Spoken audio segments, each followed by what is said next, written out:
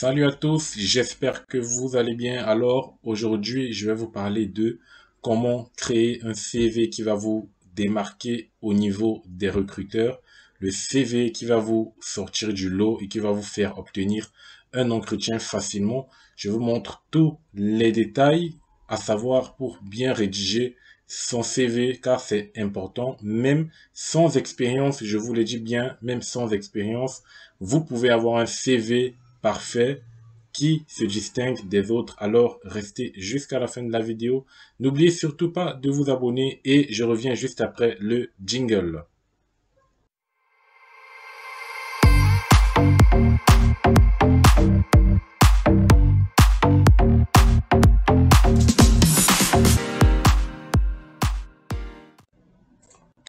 Donc, euh, on revient très rapidement dans la vidéo et je vais vous montrer donc les éléments que vous devez connaître pour bien faire votre CV. Alors, le CV qui donne envie de recruter, oui, c'est possible avec ou sans expérience. Que vous soyez débutant, que vous soyez encore en formation, que vous soyez encore à l'école, en terminale, en troisième. Alors, je vais vous montrer ce qu'il faut savoir pour se démarquer. Réaliser un bon CV. Alors, il est important de savoir premièrement que un bon CV doit être clair, bien présenté, aéré et structuré. Donc, il ne doit pas contenir trop d'éléments, il doit juste mentionner les points les plus, euh, les plus centraux de votre parcours. Donc, il doit faciliter le travail de l'employeur et donner à lire d'emblée les informations sur les informations, pardon, les plus significatives de votre parcours. C'est le seul portrait que l'employeur a de vous et donc il est important de bien le soigner. Et oui, vous devez savoir que le CV c'est un peu comme votre identité que vous donnez à un employeur. C'est pour ça qu'il doit être bien présenté, il doit être bien structuré et il doit être surtout aéré. Donc on ne fait pas des CV où vous allez regrouper ou écrire beaucoup de textes. Ça doit vraiment être être euh, soigné votre CV. Alors euh, le CV, vous devez savoir plus qu'un titre, intégrer une accroche pour débuter votre CV. C'est également important. Pourquoi? Parce que euh, c'est intéressant pour l'employeur car non seulement elle met en avant votre projet professionnel, mais elle lui indique clairement l'atout que vous mettez en valeur ou la compétence clé de votre profil. Donc, il est important de commencer toujours son CV avec une accroche. Par exemple, euh, recherche de, de, stage dans tel domaine, recherche de job étudiant dans tel domaine, euh, voilà. Donc, une petite phrase qui, euh, qui va spécifier au recruteur, en fait, vos objectifs. Et donc, misez également sur la photo, un élément bien évidemment pas obligatoire,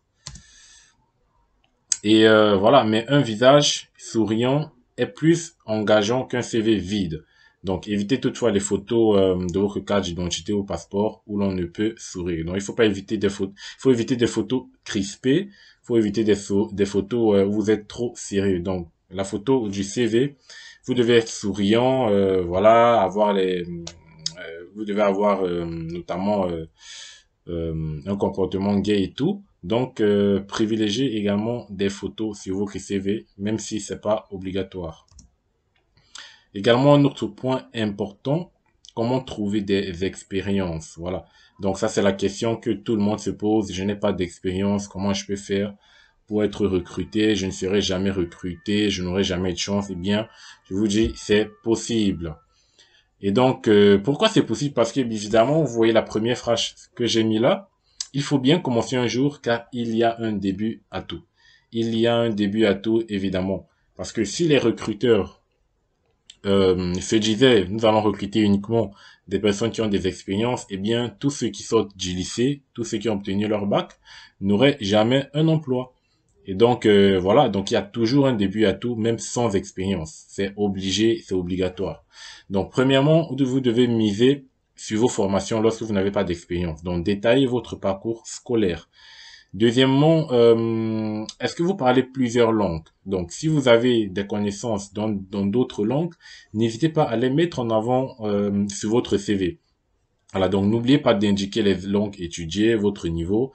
Vous pouvez mentionner également euh, vos séjours linguistiques à l'étranger et notez bien, important, ne pas tricher sur euh, les langues parce qu'on peut vous demander pendant l'entretien de parler dans une langue. Surtout si le recruteur euh, ou la personne qui est en face de vous maîtrise la langue en question. Voilà. Donc c'est déjà arrivé. Hein. On peut vous dire euh, si vous mettez aussi vos que vous parlez anglais intermédiaire, lors de vos entretiens, euh, ils peuvent aborder ce côté-là des conversations en anglais pour voir si effectivement vous avez ces capacités que vous avez mis dans votre CV. Donc c'est important de ne pas mentir sur votre CV. N'oubliez pas, le CV c'est votre identité. Alors un autre point important, il faut personnaliser son CV. C'est très important. Pensez à tout ce que vous savez si bien faire dans la vie. Réfléchissez à tout ce que euh, vous avez appris et à comment vous pouvez mettre en valeur cette expérience. Voilà, donc ça c'est toujours plus pour ceux qui n'ont pas d'expérience. Donc réfléchissez, vous avez certainement fait quelque chose dans votre vie euh, que vous pouvez ajouter dans votre CV. Donc j'ai mis des exemples, cela peut être un stage de classe par exemple. Euh, vous détaillez à cet effet vos missions, même si ce sont des tâches basiques et ce que vous avez observé. Euh, si vous avez pratiqué, euh, participé à des associations ou fait des activités bénévoles, n'hésitez pas également à les mentionner. Si vous avez pratiqué un sport collectif, euh, vous pouvez évoquer à cet effet-là votre esprit d'équipe. Ce sont des qualités importantes que les recruteurs veulent voir. L'esprit d'équipe, la collaboration entre collègues. Donc, euh, si vous avez fait de la compétition, faites-le savoir, mettez en avant une expérience qui vous a appris à gérer votre stress, par exemple. Si vous avez le brevet de secourisme, si vous avez le BAFA, c'est-à-dire euh, le diplôme pour euh, les animateurs, si vous avez un permis de conduire également important pour valoriser votre CV, n'hésitez pas à les mentionner. Et même vos expériences de babysitting représentent un bon indicateur de maturité et de prise de responsabilité. Donc, important de mentionner vraiment tout ce que vous avez fait. Même si vous avez fait euh, de la caisse, c'est-à-dire un poste de caissier, même si vous avez fait du ménage, même si vous avez fait euh, éboueur, n'hésitez pas à les mentionner dans votre CV. Donc mentionnez vraiment tout, surtout si vous n'avez pas d'expérience, c'est un plus. Ne croyez pas que euh, si vous avez fait éboueur, ils vont se dire que euh, voilà, vous n'avez rien, vous n'avez pas d'atout. Donc c'est plutôt un atout de mentionner tout. Et donc en dernier ressort, la présentation du CV, bien évidemment, c'est très important. Donc, vous devez soigner la présentation de votre CV avec des rubriques judicieusement organisées pour faciliter la lecture. Donc, le destinataire doit capter l'essentiel de votre CV du premier coup d'œil. Voilà, très important. Et donc, la présentation doit rester sobre. Donc, on n'insistera jamais sur ce point d'autant qu'il est tentant lorsqu'on, euh, lorsque l'on croit euh, ne pas avoir grand chose à raconter d'essayer de compenser pour une mise en forme ou euh, voilà une mise en forme qui pollue un peu votre CV avec plusieurs couleurs, des encadrés, etc. Donc c'est pas vraiment nécessaire. C'est aussi vous postuler pour un poste de designer ou de communication. Voilà, donc euh, n'étouffez pas votre CV avec des designs, des couleurs par-ci par-là, euh, des encadrements et tout. Donc le CV doit être vraiment simple, ça doit être sobre. Voilà, ça doit être aéré. Donc, nickel.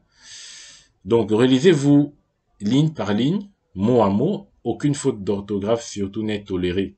Voilà, donc aucune faute sur votre CV. Armez-vous d'un dictionnaire de synonymes le cas échéant. Et voilà, ça peut vous aider à changer de temps en temps des mots. Et surtout, faites relire votre CV à votre entourage. Qui sait, peut-être euh, il manque une expérience que vous n'avez pas ajoutée ou une qualité que quelqu'un peut reconnaître de vous, ou plutôt une suggestion euh, euh, qu'il pourrait vous faire pour modifier et bien présenter votre CV. Voilà en gros tous les éléments dont vous, dont vous devez prendre en compte pour pouvoir réaliser un CV idéal pour vous démarquer. Voilà, donc l'objet de la prochaine vidéo sera de vous montrer en question comment faire un CV, de vous présenter les outils que vous pouvez utiliser pour construire un CV. Donc, je le prépare dans la prochaine vidéo. Donc, n'hésitez pas à vous abonner à la chaîne, à laisser un pouce bleu et à partager la vidéo à vos camarades, à vos amis, à vos oncles qui, euh, voilà, qui ont besoin de ces connaissances-là pour bien rédiger leur CV. Allez, on se dit à la prochaine pour un nouveau numéro. Surtout, portez-vous bien.